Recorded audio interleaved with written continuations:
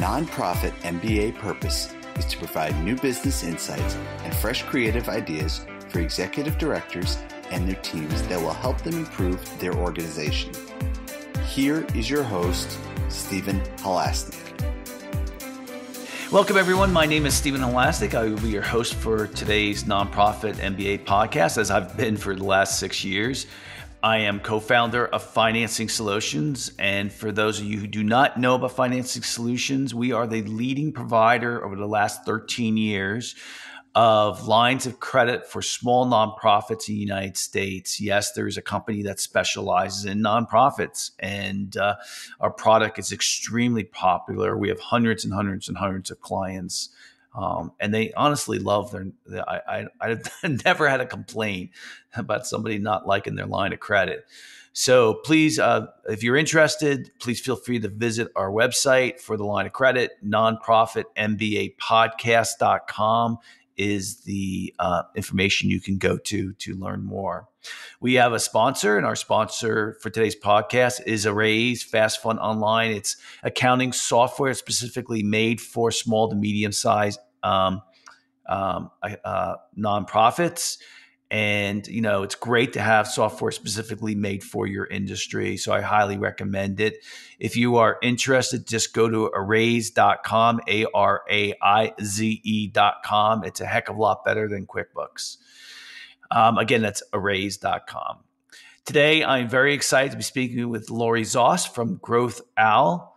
And uh, Lori is the founder of CE and CEO of Growth Owl, a consultancy based um, uh, focused on uh, Fortune 1000 engagements for associations, nonprofits, and other purpose driven organizations.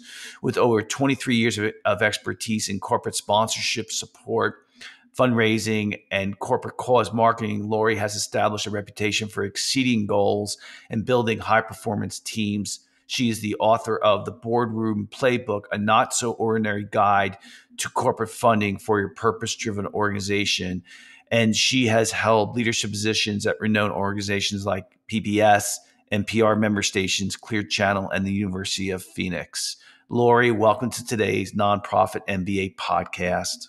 Thank you. Happy to be here.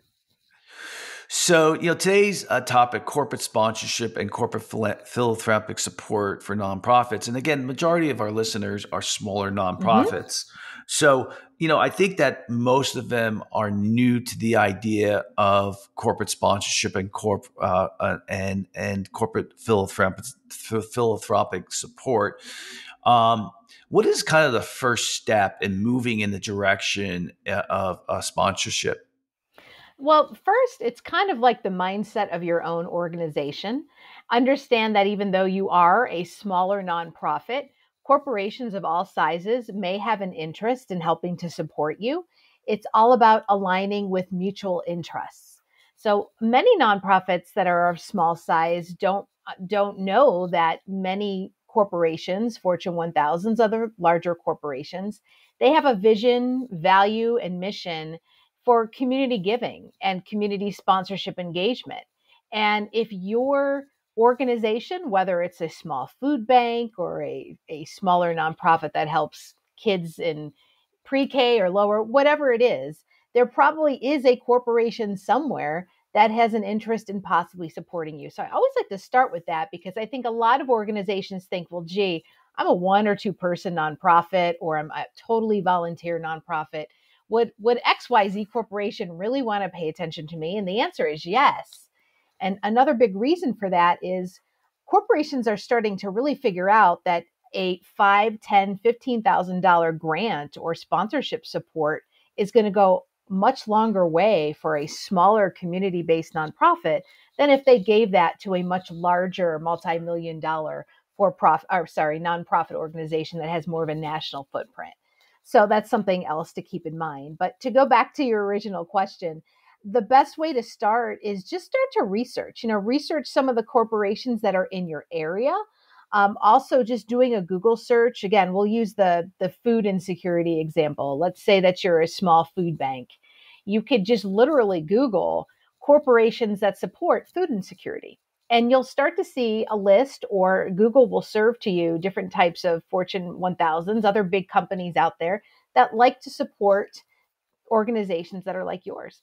So it all starts with just some some basic research. Um so the the what do you notice the what did you what do you notice about the smaller nonprofit executive directors mm. who are successful at getting corporate sponsorship? What do you notice that they do that other ones who are not successful at getting it do? That's an excellent question because a lot of my work is one on one with the executive director. Even larger nonprofits don't always have someone that's just dedicated to looking at corporate sponsorship or corporate philanthropy. So it's a phenomenal question.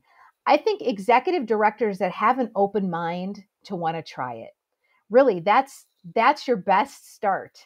I work with all different types of executive executive directors, executive directors who have absolutely no fundraising experience whatsoever, executive directors who maybe have experience in traditional major gifts or plan giving, but have never really engaged corporations, and people who are really seasoned and are just looking to hone in their skills. So, to me, if you have a willingness to try and a willingness to experiment with different ways to outreach and different types of organizations and you build in the time to do it really those are the key success indicators just to get you started yeah i i, I would think that the executive directors who are just you know pushing forward as yeah. says we're going to do it they're the ones who kind of get it done um and and the ones who are are reluctant and scared and um, you know scared is not the right way to say it but um, they're you know they they kind of don't go for it. I, I guess yeah. that's the right? Is that fair? Yeah. do you yeah. do you find that it takes a lot of time to do this type of work? You know no. It, i think it, it, you have in your mind that it's this big mountain right? When it's really just kind of a little hill so I like to say to people that I work with, let's focus on five, not 50. So when we're looking at yeah. outreaching, let's just pick, even if it's two, let's pick two or five companies for you to really get to know, do some research. Let's find the right decision maker for you. And let's build a plan. Let's do one a week for five meet, weeks. And maybe it, that maybe takes 10 or 15 minutes a week, really, to kind of get the information you need create a message, and make the outreach. So there's a lot that can be done literally within minutes every week that you can do um, if you really just focus on smaller goals. And also, if you focus on those smaller goals, as you probably know, Stephen, they're much more achievable and you're more apt to want to keep going. Yeah, I find that um, like uh, two, two years ago, well, it was maybe it was a year ago, I raised I always thought I could be good at fundraising. Yeah, yeah. And so I, I, I joined this organization and and I and I, I went out and, and raised quite a bit of money, and but I I it all it does is it takes that first call, yes. doesn't it? Yeah. Like you just got to make that first call, and then it's like, oh, this really wasn't that difficult. Right? Absolutely, yeah. It's kind of like a muscle the more yeah. you do it, you get really good muscle memory for this. No, and the other thing is too, going back to the importance of the executive director, companies want to talk to you, the executive director. They know that you're the ones that have kind of the boots on the ground. You're seeing what your communities need. Uh, and you're the one that sees what the real needs are in terms of internally in your organization and they like they like talking to the head honcho uh, so uh, you know partnering up in, in finding the right organizations to speak with, a great way to do it is truly having it come out of the ED's office. It's to there. There must be a methodology or the steps that you kind of have, and you you alluded to it already. Yeah. You know, doing the research first, um, the script, yeah, uh, you know, uh, the follow up, the yeah. consistency, yeah. So, so tell me your steps and be, to be very effective at corporate sponsorships. Yeah. So when you are researching, and I talked about starting with the website, but but other places to look on the website besides just the homepage and maybe who the executives are, you want to look and see if they have a report to the community, like an annual report, campaign for the community, and see what they're involved in. Because that way, if you you have specifics of what they're involved in, and you can you have a similar connection there, you can reference that. So, you know, when you are outreaching, you can say, Oh, I see that you work with ABC Food Bank in the Charlottesville area. We're actually a smaller food bank just outside of Charlottesville, and maybe there's an interest in in hearing about our support needs. You know, so that's that's a great way to find mm. connection. And once you do find that connection when you're reaching out, probably the most popular way to reach out now is via email. My biggest tip is to keep your emails brief and concise, the power of brevity. 200 words or less. Who are you? why are you contacting them in terms of what your connection is? We find that out in the research phase. And what is it you want next? Do you want a meeting? Do you want the opportunity to send information? Decision makers and corporations respond very well to brief and concise messages.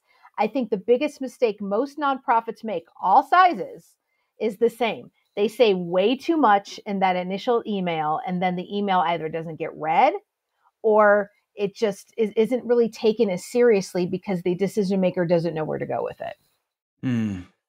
Yeah, and it's usually most most of the times it's a multi pronged approach, right? Yeah. A phone call, email follow. Mhm. I think I think one of the things that's most important is to think, uh, have an attitude that eventually, if you see that your mission aligns with the corporate need, Yes.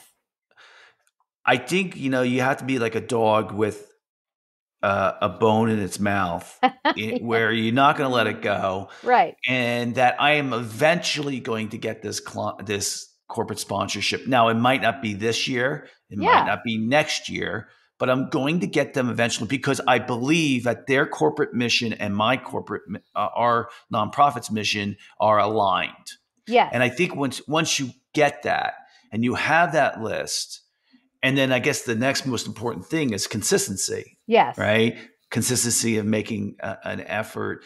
Um, do you think that people fall apart when it comes to consistency Mm. more, or or where do you think their the hiccup typically is? it's usually in in following up you know if they'll they'll be very diligent about making the first call or sending the first email or sending an initial message on linkedin which is another great way that that's successful and if they don't get an answer right away there's a thought oh i failed this is a journey you know corporate support is a long game and have i had times where myself or my client has you know hit it on the you know the first hit you know, first email went out or first call and we got a contact? Yes.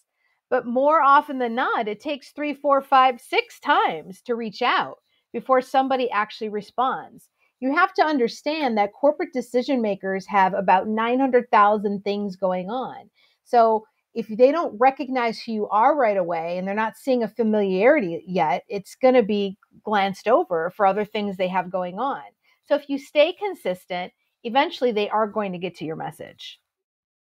The um, you know, just uh, this is a while ago, but one of the companies I owned, uh, you know, quite a uh, twenty years ago was you know something like that. It Yeah. was um, we our, our main lead generation method was was uh, phone calls, right? So t- Mhm. you know, and so um, I had read this statistic or I learned about it, and is out of six calls that you make, the chances that you're going to close a deal on the first call is like 0.01%. Oh yeah. The next, Mhm. the second time, and don't hold me to these figures. It's just Yeah. it illustra- illustrates a point. The second call is uh, one percent. mm-hmm. The the third call is two percent. The Mhm. fourth call is five percent, and then the sixth call is thirty percent. Mm-hmm. So in my mind, I was like, let's get to that sixth call. Yeah. It- Yeah. Because I was like, you know, the probability is in my favor. Yeah. Um, it, as long as now, of course, you want to spread it out and all this other Yeah. things. Yeah. But by knowing that the, and, and I like what you said too, and that is, you know, a multi-pronged marketing approach. And you Mhm. you mentioned, you know, phone call, email, LinkedIn follow Mhm. up, you know, uh, mailer, you know, uh, you know, custom handwritten notes. Oh yeah, that's you a know, good one. You know, Yeah. how uh, you know understanding where the corporation that company is Yeah. and its cycles. You know, Mhm. when do they actually decide on corporate sponsorships? Yeah. knowing you know those type of things know, knowing the key decision makers knowing what's involved you know it's it's a long game approach Yes, you need stamina. and Yeah. to your point, the you know, this doesn't happen on the first call or the first email. The the first approach is to get interest. The second is and once you've once you've made the connection and there's interest and you get that first meeting, the next the next goal is a second meeting. And that second meeting is either to have a proposal reviewed, a presentation, you know, what have you. And there could be more or less in between that. But if you understand going in that your first outreach is just to establish interest, I think that also takes the pressure off for executive directors that are outreaching that have very, very high expectations of what they should be seeing coming back from in terms of replies or calls back. Remember, it's just this is a it's like dating. You're not going to propose on the first date. I'm sure some people do, but you know, it really is a matchmaking process. And also, don't be afraid of no. You know, there's a, there's a lot of people that just inherently fear rejection. I love no because that lets me move on and not think about if I need to be in this space anymore. It really Yeah. does allow me to to move on. So that fear of rejection is also something I work on with a lot of executive directors. now I, I i do have some personal experience with two nonprofits um, that i'm Yeah. involved with where executive directors change Sure. Mhm. and um you know it's well known that executive directors typically are changing every two to five Yeah. years and and i you know I, I i would guess and i know that the executive directors when they actually end up leaving an organization they might still really care about the cause a lot so that they want to leave if if and when they leave they they want the work of the organization to continue and be successful yes. and so I would think that um, having a good defined process and being able to leave the work that you have done to try to land a a, a corporate sponsorship to the Mhm. next executive director Yeah. is really important to the sustainability of the organization. Um, is, is that all fair to say? Absolutely. And first of all, it's just good to do. You know, be- being a good nonprofit executive leader, that's just being good at what you do. But remember, you're also you're you're you're being a farmer, right? You're planting seeds, you're harvesting, you're kind of doing this at the same time. So you might have a great relationship that you that you kind of planted and got going at nonprofit A now you've moved on to nonprofit B and you see a potential match with that that partner, that corporate partner you were working with. You've already laid the groundwork in terms of relationship. They know you, they trust you, and you could kind of pick it up from there. So it's just it's also just good business to do that. Absolutely. Yeah, and I think that um, regardless if you use just an Excel spreadsheet Mhm. or if you use some simple CRM system, yeah. Um, you know, customer relationship management, and you know, there's plenty of free ones that are out there. Oh, sure. Yeah. Um, but even if you just like, I mean, you need to know the person's name you're dealing with. You need to know the last time you called them and what Yeah. happened. Mhm. The last time a, a handwritten letter went out. Last time you, a LinkedIn um, contact was made. You know, keeping good notes, and that's why I Mhm. like your idea of picking five. Yeah. Okay, Yeah. let's pick five. Let's do the research Yeah. let's start the process and let's build the process so that it's not only sustainable Yeah. to to me but it's sustainable to the next executive director Yeah. um, regardless if you care about the next executive director or not i think it'll make your efforts this time around more effective is that fair to say Absolutely. And to your point about the tools, I- I don't get hung up on what tool you use. If you're someone that prefers an Excel spreadsheet or a Google sheet, that's great. If you Yep. want a CRM, that's great too. As long as you're keeping track of, to your point, when you're calling, who you spoke with, did you leave a message, did you get a response? That that also the the other reason I like those tools, it shows your progress and makes you feel good about what you've done. You Yeah. know, again, going back to those small achievable goals, that you can look at that progress and say, "Oh, well, I contacted 3. I hadn't contacted 3 last month, so I'm really ahead of the game, right?" So that's the other reason I like accountability tools. It's not only accountable for your activity, but it's also a motivator for you about what you've done and to keep you going. What percentage of the time do you find that the executive directors that you're working with are just not, and let's be honest, capable of making fundraising calls? They're just more, they're introverted, they're more service Hmm. based toward the organization. Do you find that, you know, you, you know, I'm sure you don't give up on them, but I, I'm, I'm saying, uh, you know, Yeah. do you ever come to a point where you say, listen, I, I think there probably needs to be somebody else making these calls? I got to be honest, it's rare because Yeah. what I try to do with my clients is find a means that works for them within their skill set. So honestly, although I'm very extroverted and, and I've been making sales calls for years, right? So it's it's kind of in my DNA. I love working with somebody that comes from maybe more of a financial background or operations background and they've never even studied a sales technique. I love that challenge uh, because I love them to find something within them to do that. You know, I really believe that everything you want is on the other side of fear. I don't know uh, that, that where that quote came from, but I believe in that. You got to get past your anxiety and try it. So that is my preferred method is finding what works for you. So for some people it is, you know, I've pre-crafted a message for them that they need to, you know, customize with a few things and they email it. Some people are very comfortable on the phone and would prefer to do nothing via email. Uh, a great place to start for folks that just aren't, they're just, oh, I don't know, uh, would actually be LinkedIn, sending a brief LinkedIn message to connect. So I just think there's a lot of tools available to fit the right personality. Yeah, that's fair. That's fair enough to say. Yeah. I, I, I think too that most people, let's use that word sales. Um, Mhm. Now, I, I, I started my career, excuse me, for the first eight years at in professional sales. Yeah. For, uh, uh, uh, and sales, what most people think of sales, I think of car salesmen, Yeah. retail salespeople, maybe. Right. Right. And, you know, and uh, just to keep this basic, Yeah. sales is not telling. Sales is asking yeah. Yeah. and and also doing, you know, research and Mhm. questioning. You know, um so you know, you're not going to talk and force a corporate sponsor into working with you. right. You you right you you, you everything has to be aligned, Yes.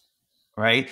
Yes. And and they're going to want to work with you hmm if you show that your mission and their mission is um, in um, or are moving in the same direction. Yeah. Um, so I, you like you said, you're an extrovert. I'm an extrovert. To me, you know, I'm willing to walk away Yes. all the time Yes. from a sale if I think that hey, this isn't the right product for you or this isn't the right service for you.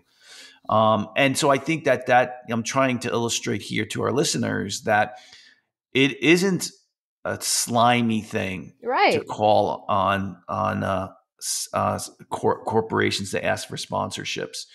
Um, do you find that when you are talking to executive directors that they are more in the telling mode than they are in the asking question mode?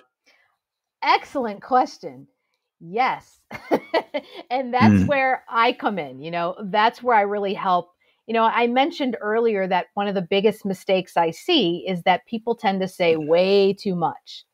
And I think it's because a lot of people think I've got this one chance to make this impression.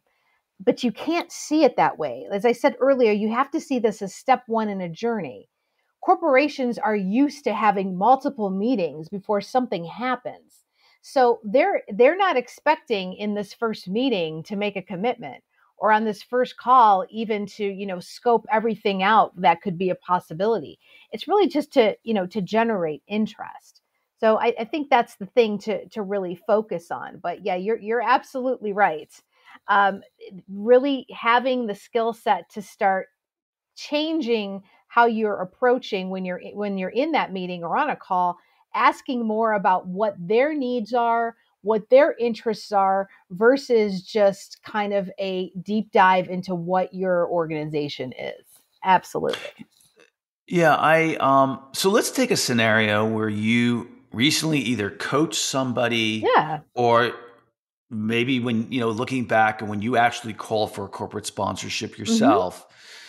and I'm not saying we have to role play it, but tell me how the call went. Wow, I do a lot. So I'm I'm trying to think. Uh, I hear here's what I would say: the more specific you can get with your connection, the, the with the organization, the better your chance is that you're going to get a meeting or a next meeting. So let me give you an example with that. I am working with a large nonprofit that does work within the veterinary community. Okay and there is a corporate there's a corporation that has a corporate foundation that has an interest in doing anything to assist veterinarians in providing spay and neuter options in low income areas okay my client was also interested in putting a program together that did the same that did that same thing with some of its, you know, community in various parts of the United States. So, knowing what I know about the corporation and their foundation and knowing what I know about my client, I was able to make a call and approach the executive director of the corporate foundation and specifically say, I'm an advisor working with this nonprofit. Here's specifically what I want to see if we can have an introductory conversation about. And then I, I talked about the synchronicities that I saw, what they were doing with spay and neuter, and what my nonprofit client was looking to do. Because I was able to make that very specific connection, we were able to get a meeting on the books in that conversation in a first call. So that is a great example of the more specific you can get, the better. And to give you to give you another example, you know, going back to food to food insecurity, you're going to have more luck talking about um, food insecurity affecting women and children versus talking about we work to help eradicate food insecurity in the Chicagoland area. When you talk about food insecurity with, amongst women and children, that's a very specific demographic to help within food insecurity. That's what that's what companies are looking for. So to be as specific as possible on a call or on a first email, your chances of getting that next step really increase. I hope that makes sense. Yeah, I, I I'd be a little concerned about getting so specific that somebody might say um, that you might then get automatically someone saying, no, that's not what we're looking for. We're going right. We're going in this direction. Is that good to know that? Well, or is it?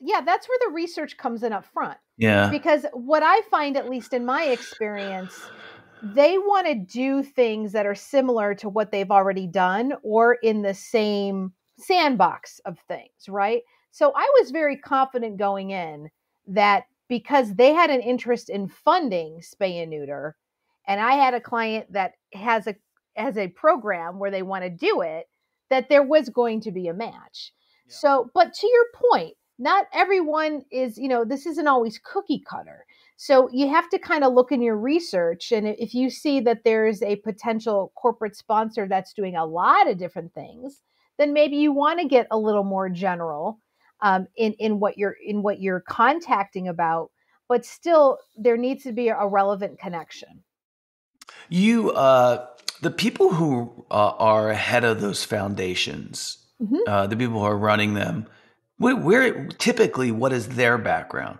Yeah, so what, here's what's really interesting that's going on specifically with corporate foundations.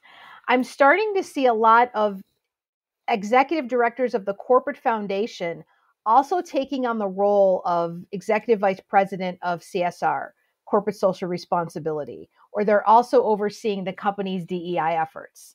Um, in the up until a few years ago, those used to be really separate, and I'm starting to see more of a merger of the main contact.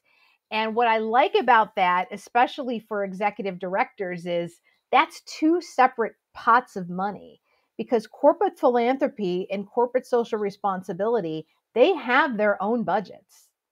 So if you've got one person you're talking to, they can start to calculate in their mind where that money could come from. So um, that doesn't really answer the initial, I think, the initial question. But they, in terms of where, you know, what is their background like? You either see people coming into corporate philanthropy who've already run nonprofits in the nonprofit area, but there's also a totally separate opposite side of the spectrum where we're seeing people that have been engaged in corporate America for a long long periods of time in community relations, public affairs, legal affairs and even finance taking the heads of, of, of executive directorship of corporate foundations. So that those that's kind of what I'm seeing right now. Yeah, my my instinct is not only to do the research on the corporation, okay, so I, my instincts are to, all right, I want to do the, and this is because I'm a business minded person, but the the first thing is to do let do I understand what the corporation does for a living? Yes. Do I understand what your strategic mission is mm-hmm. from a mm-hmm. business standpoint? Yes. Now, what do I do? I understand what the the uh, um, the uh, foundations mission is. Okay. So yeah. then I'm going to understand that. And now this is my next point. My, my, my, my point I'm trying to make. Then I need to understand the person that I'm going to be speaking mm-hmm. with. What's their background? Yes. Mm-hmm. Because if if someone is like that is a prior executive director at a variety of these different mm-hmm. um, nonprofits, yeah, my approach might be a little different than somebody who is who comes from the corporate ranks. That's exactly of, right. Of, yeah, because you know, so because the, honestly, those people who are corporate ranks often might be a little bit more business oriented. Yeah. Versus mm-hmm. the people who've been executive directors who are much more philanthropic oriented. Um, I, I, don't know how I would approach it differently. I just know that certainly more information is better than less information. And that's where LinkedIn is great. I find that yeah. more people are talking about themselves on LinkedIn and they'll also talk about what they're interested in hearing about. You know, or they'll talk about these are the things I need. And that's a that's a great that's great prep work for your meeting. Yeah. So one of the best salespeople I ever had was um, at another company uh, was she would do so much research before she picked up the phone. Mm-hmm. And I was I would always be like, just that's great, but you got to dial the phone too. And I'm right. not suggesting that. I'm actually suggesting the opposite. I, I think that when it comes to this type of call, you you do have to do the research really before you pick up that phone. Yes. And the better you do your research, the better the likelihood is. Plus, you're not wasting your time as That's well. That's right. Absolutely. Yeah. So I'll give you. We have. We only have a a, a minute left. Um, give us give us a, a, a good uh, walk away or something to think about from what we've discussed in regards to you know corporate sponsorships. I really want people to take away the power of brevity. I can't express this enough in your communications. Just think about when you get a 400, 500 word email, what you want to do with it. so, really being really structured in your words and crafting something that's 200 words or less, or crafting a voicemail that's, you know, 30 seconds or less, just to be very compelling enough that they want to keep talking to you. That's your goal. Oh, good stuff. Well, that's all the time we have for today. I'd like to thank so very much Lori uh, Zoss from Growth Owl LLC for coming on today's podcast. And if you like today's podcast, please feel free to share it with a friend and also subscribe on your favorite podcasting app. The Nonprofit MBA podcast is now in the top 1% of podcasts for the nonprofit space. It's, you know, it's great. I think I have close to 300 or something like that episodes. And if you like today's podcast, please also give us a five star review. Um, it really helps us get the word out. And of course, if you're looking for a line of credit for your nonprofit, please feel free to visit our website at nonprofitmbapodcast.com. Lori, if anyone wants to get in touch with you, how would they go about doing that? You could check out my website, thegrowthowl.com, or drop me a message on LinkedIn. Great. Thanks for coming on today. Thank you. So the recording of this podcast is November 30th of 2023. So we're coming to the end of the year. And I always end the podcast this way, but I want to thank our listeners, not so much for being listeners, thank you for doing that, but but for trying to help to make the world a better place. Um, there, there almost feels like there's never a day that doesn't go by where you, you know, there's major issues going on, and every day um, you guys are out there trying to make the world a better place, and I really thank you for that. However, I just want to remind you that you are no good to your family, your friends, your employees, and your cause if you burn out. And so the first thing you need to be doing every single day is taking care of yourself. And whether that's meditating, exercising, eating right, whatever it is that you need to do to, to be good, because you know, saving the world is a marathon, it's not a sprint. So just keep that in mind. Again, thank you for listening and please continue to listen. We have so many great guests in, in our past history and new ones always coming up. So have a great day, everybody. We'll see you later.